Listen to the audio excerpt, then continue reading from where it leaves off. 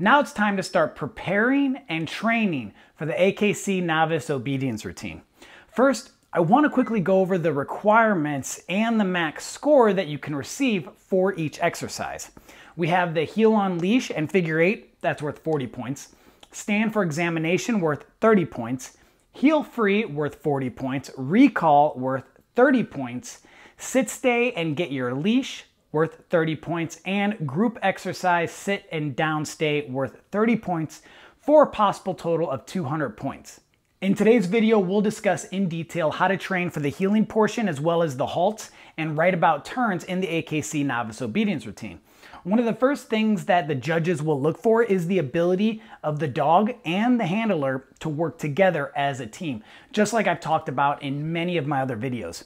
When you enter the ring, you'll walk to the starting location with your dog on a loose leash. Once you stop, your dog should sit next to you in the proper heel position. You can have the leash in either hand or in both, but your hands should be held in a natural position. Keep in mind that if the leash gets tight or if you use an extra command or signals, you'll be pointed for that. First, the judge will ask you if you're ready. Once you say yes or ready, or you give them a nod or something like that, then you'll be told forward and the judge will direct you throughout the entire routine, so you don't have to memorize anything. This exercise consists of heeling forward at a normal pace, slow pace, fast pace. You'll also have to do halt, right turn, left turn, and about turns. All of the about turns will be right about turns, so you don't have to worry about left about turns for this exercise. For the pace changes, they need to be noticeable. So fast, you need to pick up your pace, and slow, you need to slow down. It has to be noticeable to the judge. The judge will only order halts and turns when you're moving at a normal speed. And keep in mind that turns and halts can be repeated, so it's important to make sure those are really solid before competing. All of the other commands can be given in any sequence, so uh, just be aware of that. And the judge should make the heeling pattern the same for all the dogs to ensure that the testing is fair. When the judge says forward, you can give a command or signal to your dog, and you'll start heeling forward. Again, your dog should be close to your left side without swinging wide, lagging, forging, or crowding. Basically, the dog should maintain the same position the entire time. Look at it as a stay command that's mobile that also doesn't interfere with your movement at all. This can usually be a problem if your dog tends to crowd or push into you while you're heeling. When the judge tells you to halt, you must come to a stop. Usually one or two extra paces to slow down won't be pointed. When you halt, your dog should automatically sit in the proper heel position without any additional movement. From the halt position, the dog should remain still in that position until you command the dog to move forward on the judge's order. Once this heeling portion of the routine is completed, the judge will say, exercise finished. Now, let's go over how you can lose points. One, if you have to control your dog with the leash, if you correct with the leash or adjust to the dog's pace, you'll receive a NQ, which is a non-qualifying score. Two, you'll lose points for additional commands or signals to heel, or for not making the pace changes noticeable enough for the judge. The number of points you lose will depend on how extreme or minor the mistakes are. And three, you can also lose points for lagging, heeling wide, forging, the dog's crowding, poor sits, such as a crooked or crowded sit, if the dog fails to sit at the halts, or any other heeling imperfections. Again, the number of points that you lose will determine or will depend really on how extreme or minor the mistakes that you are making according to the judge. So now we have a good idea of what's needed to successfully pass the requirements. Let's go over a training plan for each portion. First, the heeling command with pace changes, halts, and right about turns. Since halts and turns are given at a normal pace, this is when we're walking forward at a normal pace with our dog in heel position. So what should this look like? Since we're working on competition precision type obedience, the exercises that we're going to be working on today, if I were to break it down into detail and explain exactly what I'm doing in each step, this video would be over an hour long. Lucky for you, I've already done that in multiple videos. So if you need to, I would recommend going back to these videos and watching each one. What I'm going to be doing today is I'm just going to be working with my dog on every single one of the steps that you will find in that video. So this could be a quick reference as to what it is that you're working on and what you're trying to accomplish with your own dog. Let's get started.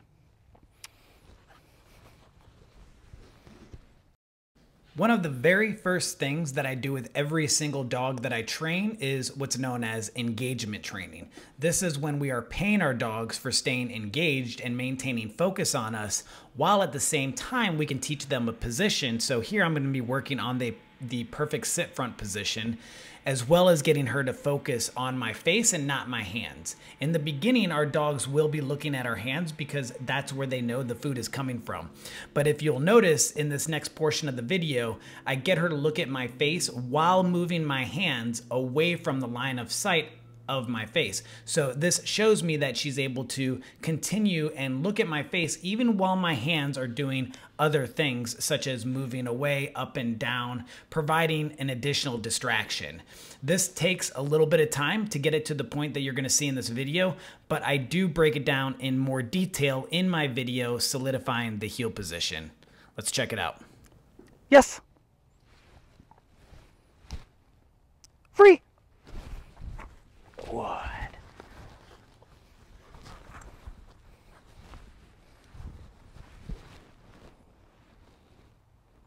Yes. Very nice, Ari. Yes.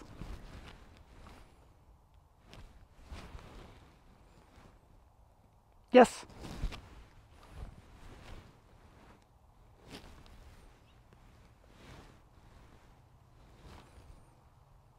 Free. Very good. Excellent. Come.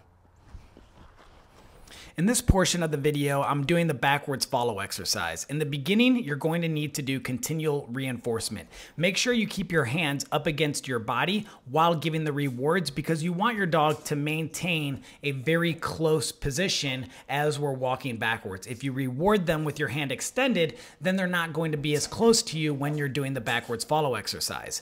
When you come to stop, simply lift up on your hands, which will cue your dog to sit, and then you can give your dog a reward and go right back back into the backwards follow exercise. Eventually, you want to get to the point where you can walk backwards, your dog continues to follow you, and you can have your hands behind your back. Let's check it out. Free. Very good. Come.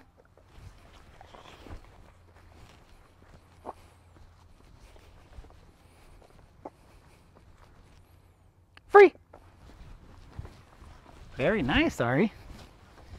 Good girl. Good girl. Come. Good. Free. Very nice.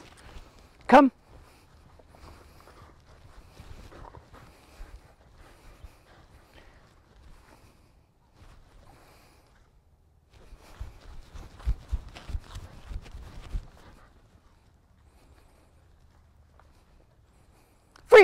Very nice, Ari. Yes. Now we're going to be working on getting our dog to look up at our face when they're in heel position. What you want to do is place your dog into heel position and then the same stuff that we did when our dog was in the sit front position, we're going to do while our dog's in the heel position. We'll start with keeping our hands by our face, rewarding our dog for looking up in that direction, and then we're going to start to move our hand away from our face. When our dog looks at us, we mark the moment they're looking at us and then we deliver the reward, and then we continue to do this up until the point where our dog will continue continue looking at our face. Yes.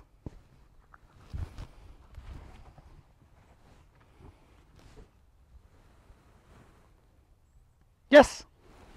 Notice that I reward her with my right hand. The reason for that is because she's anticipating the reward coming from my left hand. So I don't want to reward her from my left hand because then it might start causing her to look slightly left. So that's why I reach over and I reward with my right. Keeping in mind reward placement is very important when we're doing precision obedience. Yes.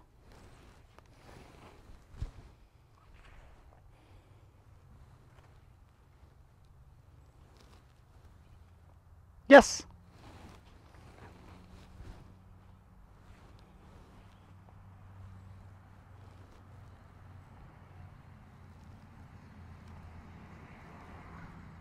Free.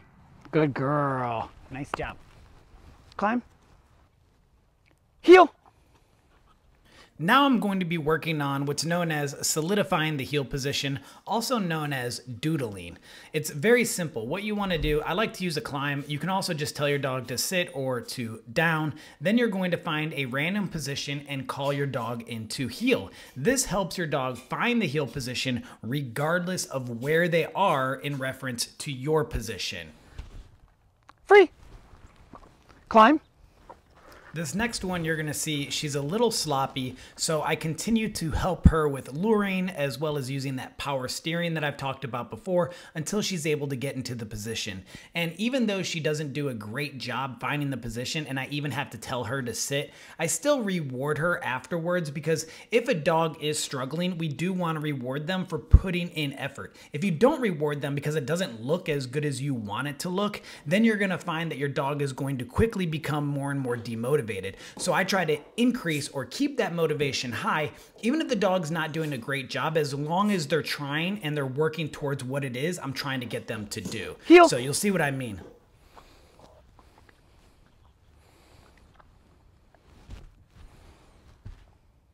Sit. Free. Climb.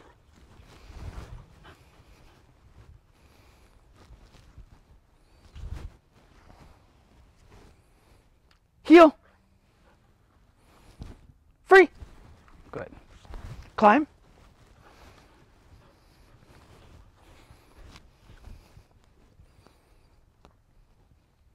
Heel.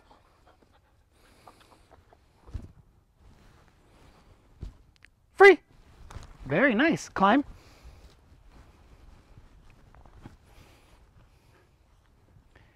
Heel. Very good, Ari. Nice job. Now we're going to be working on the center command. I like to place my dog in the center position and then work on that engagement the same way we did when our dog's in the heel position as well as the sit front position. Once I'm able to get my dog to understand that they have to maintain the center position and look up at my face, then we'll start to walk with our dog. I like to walk in multiple directions, forward, backward, left, right. I like to work on my about turns, right about turn, left about turn, left turn, right turn, because our legs help create a barrier, which makes it much easier for our dogs to accomplish these movements. And that's going to transfer over very nicely into our focused heel. Yes. Very nice. Yes. Excellent, Ari.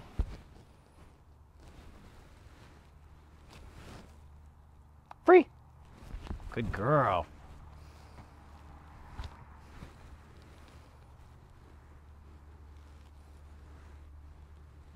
Good. Good job. Yes. Excellent. Nice work.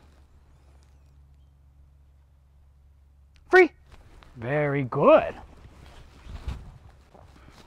Before having my dog walk and maintain the center position, I also like to get my dog to understand how to pivot in place. You could do that using a bowl, but you can also do that just by pivoting the way that I'm going to be demonstrating in this portion of the video. Free. Very good. Excellent. Nice job, Ari. Good girl. Free. Very good. Free. Good girl. This is also a good opportunity to work on your pace changes. Whatever competitive obedience routine that you're working on, whatever they require within that routine, you should be practicing while your dog's in center position, such as our pace changes, our left turn, our right turn, our about turn, and our halts.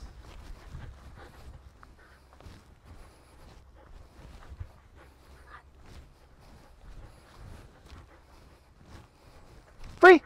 Excellent work, Ari. Free. Good. Now I'm working on getting my dog to walk backwards.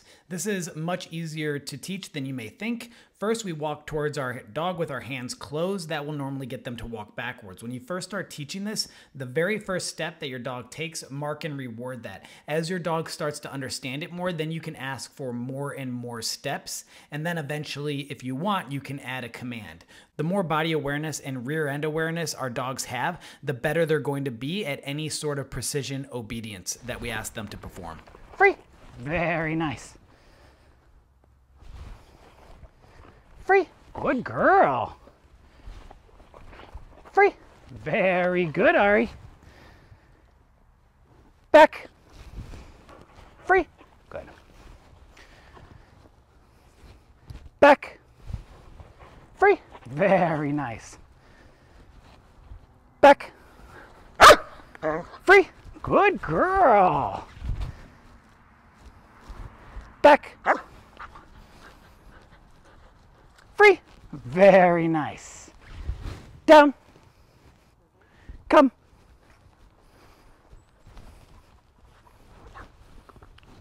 Free. Good. Come. Now I'm using the backwards follow exercise to transition my dog into the proper heel position. By going from the backwards follow exercise into the heel position, it helps keep our dogs straight. Without this portion of the training, if we skip this, there is a good possibility that our dogs may end up being a little bit more crooked when they're in the heel position. So it's definitely worth your time to invest in this exercise and get good at transitioning your dog from that backwards follow right into that perfect heel position. Free. Very nice. Come.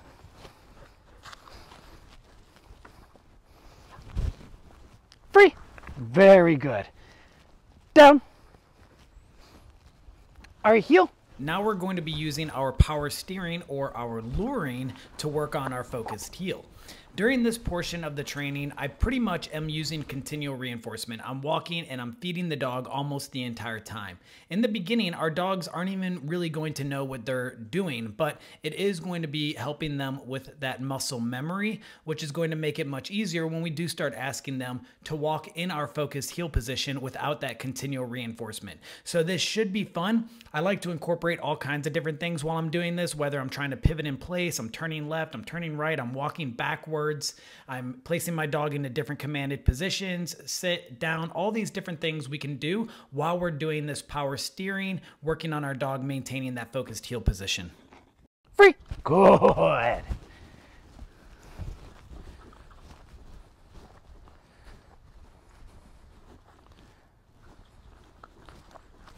Free.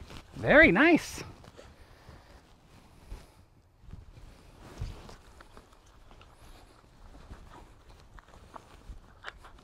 Good girl.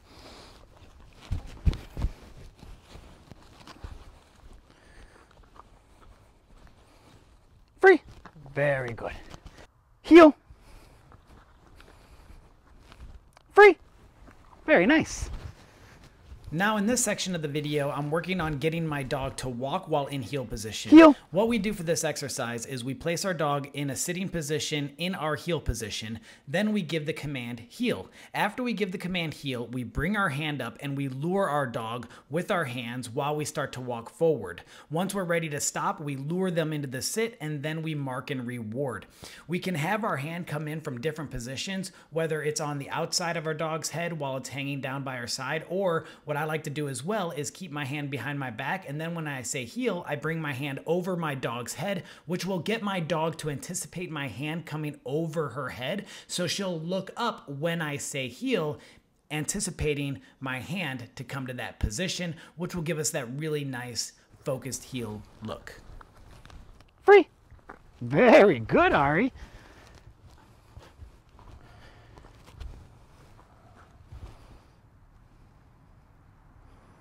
Heel. Free. Nice work. Our heel.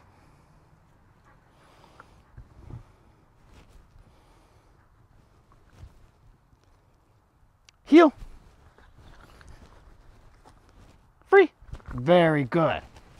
Now we're going to start asking our dogs to walk in heel position without that continual reinforcement. Start with very short distances, and as your dog gets better, you can ask for more paces. But in the very beginning, only a few steps, and it's also good to change the amount of steps that you do each time. So you may take three steps the first time, six steps the second time, two steps the third time, and so on. By making it random, it's going to make it more interesting and more fun for our dogs. Heel. Free. Nice job. Very good, Ari. Heel.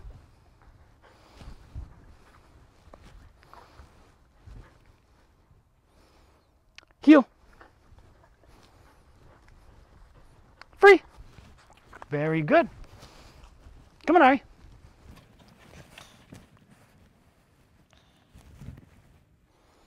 Heel. Free. Very good.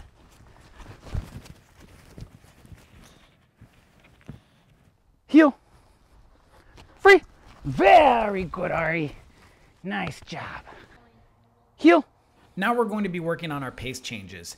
In the AKC novice obedience routine, they're only going to call you into a slow pace or a fast pace while you're in a normal pace. You're not going to go from slow to fast or fast to slow. It will always be normal to slow, back to normal, normal to fast, back to normal. However, I do like teaching my dog all kinds of different paces, regardless of which pace I'm currently in, as I transition into the next pace. It's just getting our dogs really good at staying in our heel position regardless of what pace we are at. We can help them maintain this by giving them those continual reinforcement, treating them quite a bit, and also making it fun by using that engagement. A lot of people like to incorporate toys during this part of their training because it gets their dog a little bit more motivated and pumped up to do this exercise. Heel.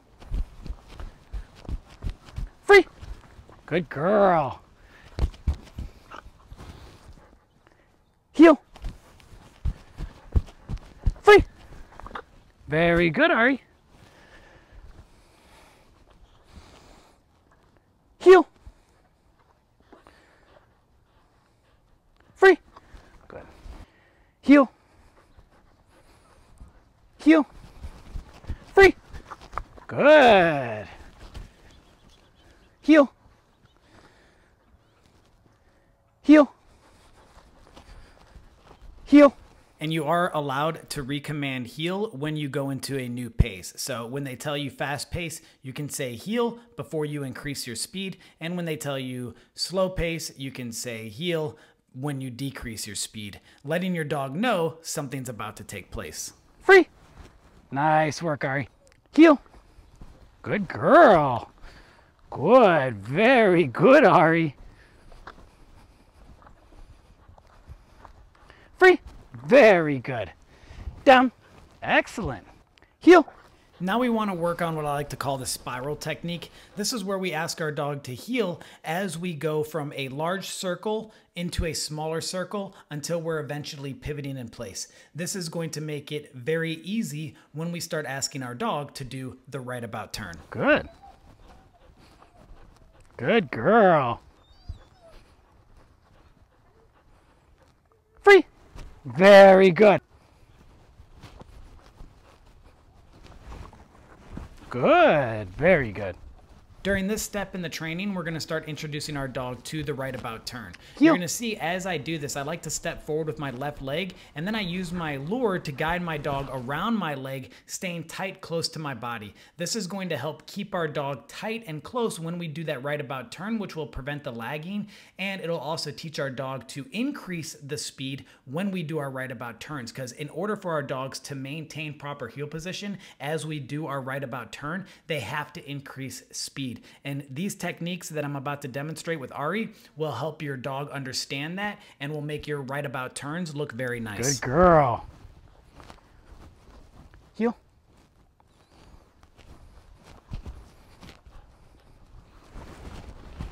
Good. All right, heel.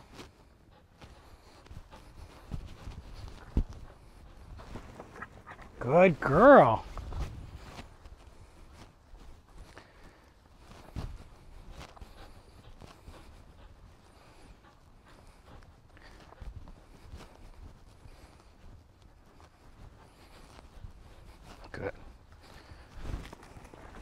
Very good.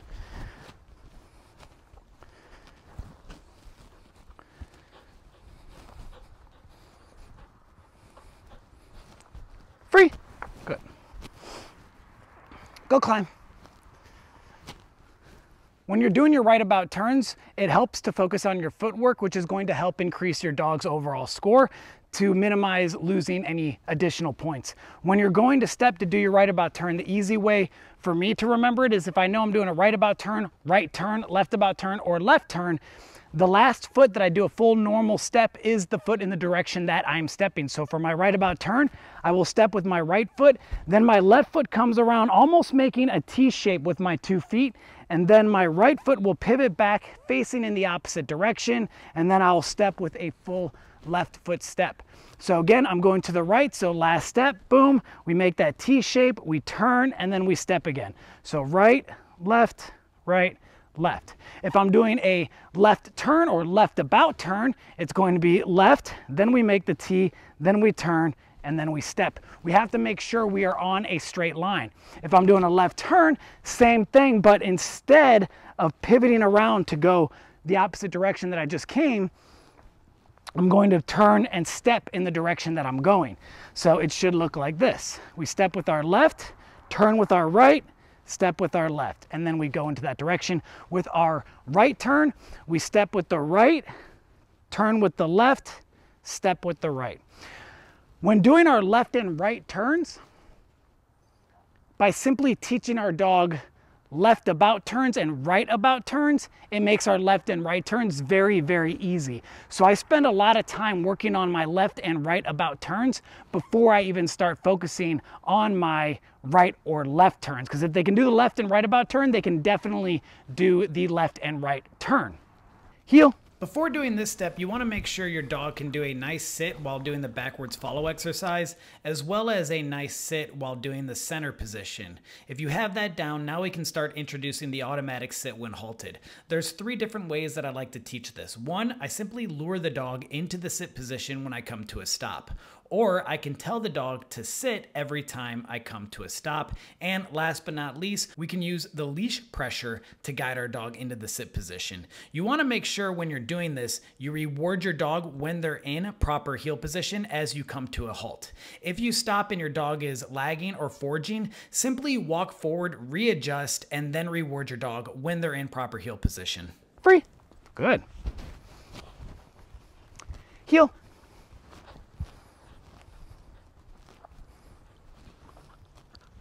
Free. Good.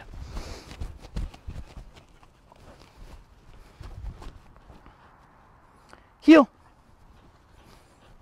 Sit. Free. Good. Heel. Heel. Free. Very nice. Come on, Ari. Heel. Whichever one of these techniques you decide to use for your dog, just continue to do Heel. it up until the point where your dog will start to automatically sit without that additional assistance. Remember, our dogs learn through pattern recognition. If they know that every time when you come to a stop, you're going to have them sit, then they will do that automatically. Free. Good girl. Next week, we'll be working on our left and right turns for the AKC novice routine, as well as proper footwork. I hope everyone enjoyed today's video. Let me know what you think about it in the comments below, or let me know if you have any questions. If you want one-on-one help, I do offer in-person training as well as Zoom training sessions. If you'd like to support the channel, you can, of course, by liking, subscribing. You could also become a patron or ordering a copy of my dog training manual, getting one of my shirts, or shopping at either of my stores, and of course, sharing these videos. Thank you again, and I will see everyone next week.